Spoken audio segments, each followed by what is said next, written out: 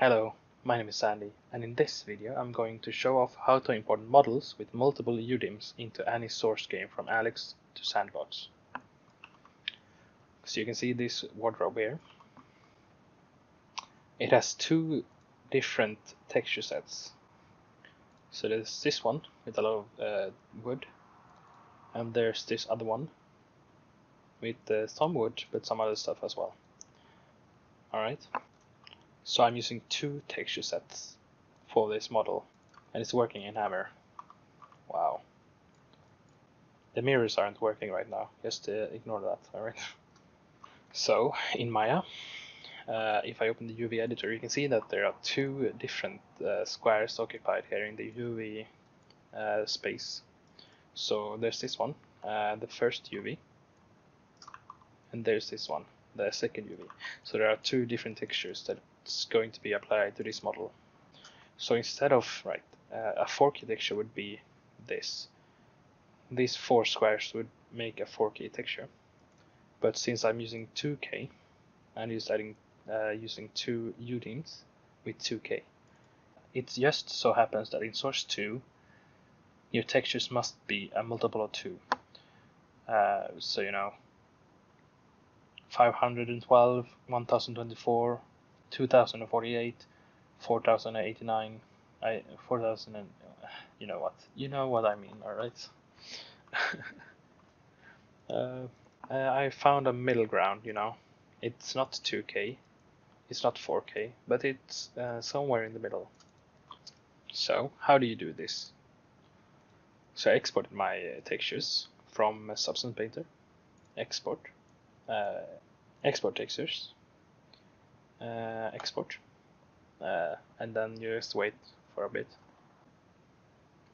You don't have to, you know, maybe you have a model you downloaded from the internet or something, and it's not your own model, then you don't need to use Substance Painter. This is just, uh, this is my model, and um, yeah, I'm exporting the textures. If you download a model from the internet, you'll probably you'll probably have the textures in a folder already. So?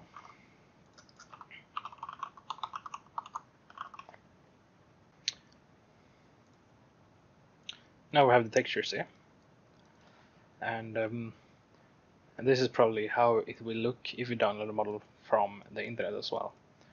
So you can see this is the first color texture with all the wood.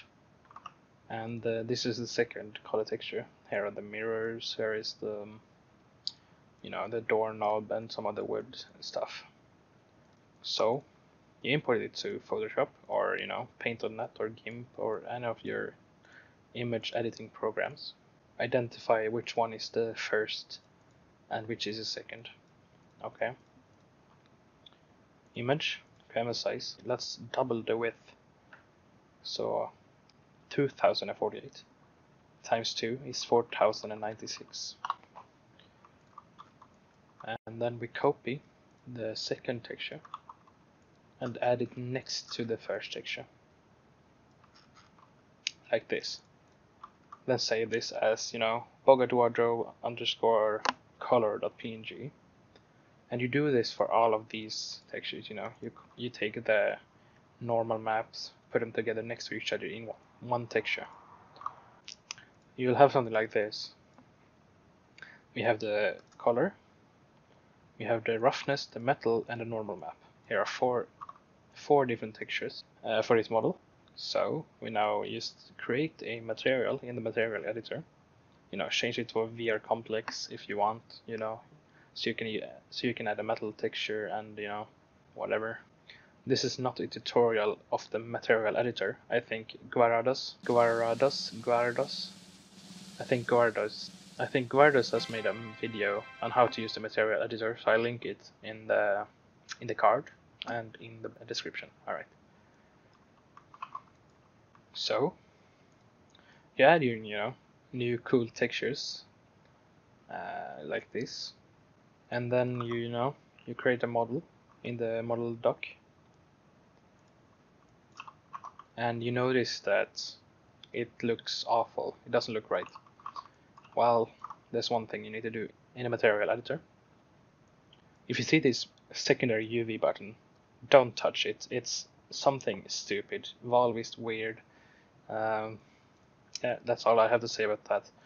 So, you see you see this in the texture coordinates down at the bottom in the variables.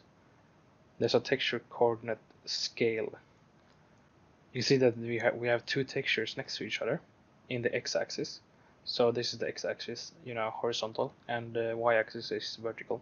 So because we have two textures in the x-axis, we need to divide the x-coordinate of the coordinate scale by 2.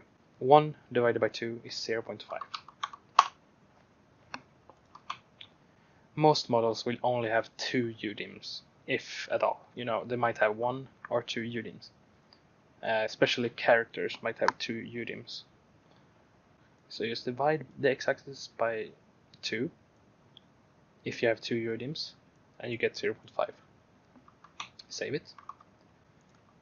Uh, and now in the model doc, you can see everything looks uh, correct. If you go into hammer, looks like it looks correct. Mm. Look at that. Very good. So I hope you learned something. And uh, by the way, I have 500 subscribers on the channel. Oh my god, that's amazing. Um, I'm 50% there to a thousand subscribers. Wow. Um, when I have a thousand subscribers, I get to monetize my videos. Uh, so you know. If you want more tutorials, please subscribe and there might be a lot more in the future. Thank you. Thank you for watching. Bye.